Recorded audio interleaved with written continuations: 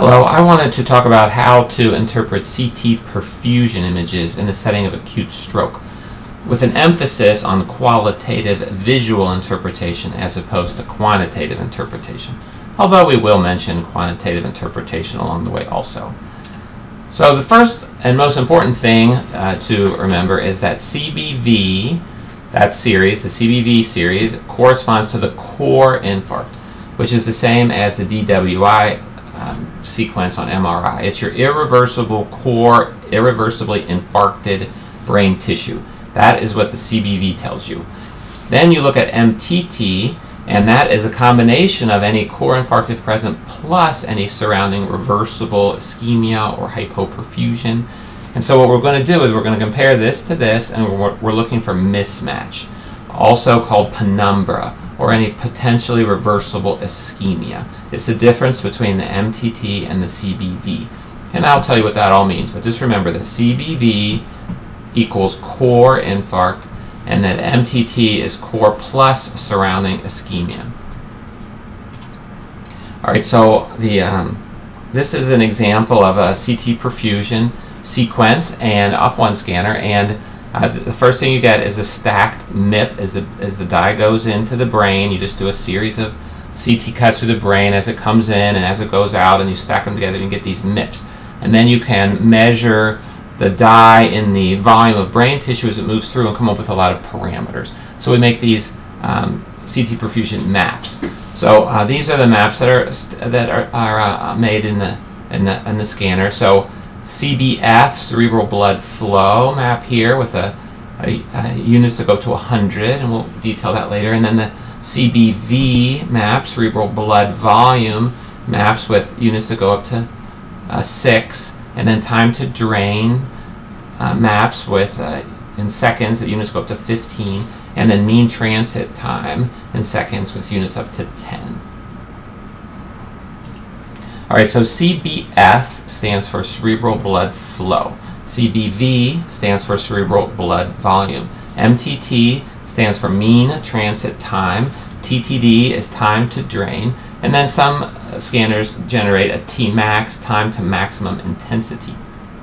All right, so here's what the series look like on a um, CT perfusion study. So first you just get a topogram, and then you get uh, a series of slices. So our, our scanner does um, 22 slices through the head, covering most of the head, and it repeats it every half second or every second for 30 seconds. So you're going to get 11 slices through the, the through the brain as the dye starts, and then then scan the brain again, scan it again, scan it again, scan it again, scan it again as the dye moves in, stays in the parenchyma, and then washes out. Keep scanning it out to 30 seconds, and then use those images to make your maps.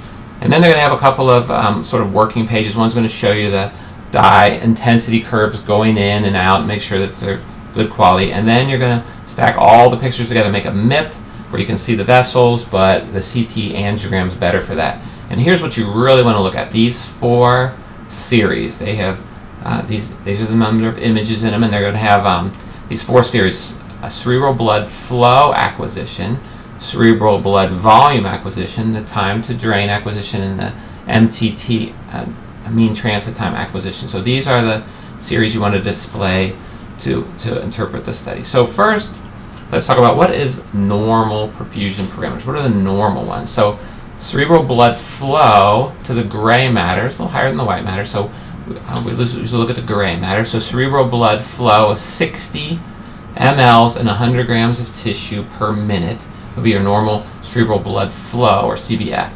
Now, cerebral blood volume, 4 mLs, 4 milliliters of blood, or in our case, 4 millimeters of contrast, uh, within a 100 gram unit of uh, brain parenchyma. That's your CBV normals. And then mean transit time, about 4 seconds to get in and get out of uh, a normal. So 60 would be normal CBF, 4 CBVs, and, and 4 seconds for MTT.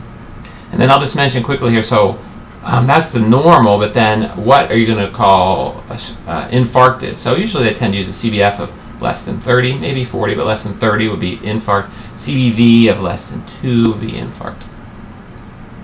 All right, so what do they look like? So here's the CBV map. So these are going to be 22 or 22 slices at five millimeter slices. But there, this is just one slice. This was going to look like, and it's called blood volume or CBV, cerebral blood volume, and it's expressed in mLs of blood and 100 mLs of tissue, and uh, the, the units go up to six. So, uh, so six mLs up to six, and normal for CBV was four. So half of six is three. So the normal cortex should be, you know, four and up. So it should be, you know, yellows and reds would be sort of normal cortex and normal basal ganglia. And then this is a, a CBF, cerebral blood flow, and that's the uh, mLs of blood or contrast and 100 mLs of tissue per minute, how much flows through there. And the normal CBF was about 60. This unit goes up to 100, so normal for gray matter is about 60. So half of 100 is 50, so a little bit up there would be 60. So we should have like yellows and reds for normal cortex and normal gray matter in the basal ganglia. All right, so mean transit time in seconds. So the normal MTT was about four seconds, so this is up to 10, so half that would be five. So down in there would be normal. So blues and greens would be your normal mean transit time. Now this side over here is abnormal, so this is what an abnormal would look like. It's the mean transit time is too high. It's taking too long. You're getting up here too many seconds. It's taking too many seconds to get uh, in and out of this brain parenchyma. So this is slow flow. So this this is abnormal over here. And then the time to drain is a nice, um, a nice sequence because it tends to show the abnormalities nicely. So time to drain in seconds. So again, in the normals, usually you know uh, similar to MTT in four second range. So normals down in here is 15. So you know normals will be down here, but on this side it's too high. It's taking too long to drain. So slow flow and slow to get out. And then if we look back at those um, at the, uh, the cerebral blood flow, knowing where the defect is here, looking back, you say, well, you know, it is a little bit decreased over in this area. So the abnormality of cerebral blood flow, you're going to have too little blood flow getting in there. So the CBF goes down when it gets bad. And then the cerebral blood volume, there's still blood volume over there, so it's not core infarcted. Okay, so how bad does it have to be to call it an infarct? And should we use uh, CBV or CBF to tell. So there were, here's some studies from the literature. So in 2006, uh, Wintermark um, used CBV of less than 2 to call a core infarct. And his, his, the accuracy of predicting whether that was going to be a core infarct or not was in the mid-90s. And then um, you also can use CBF of less than 40 to predict a core infarct in the mid-80 range. Or you can tighten it up a little bit and use a CBF of less than 30 and get a core infarct predictor uh, of the upper 80s. So those are your options. You can use CBV to predict a core infarct or really bad CBF to predict a core infarct.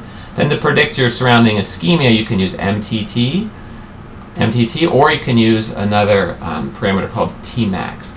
And so those are your kind of your ischemia predictors.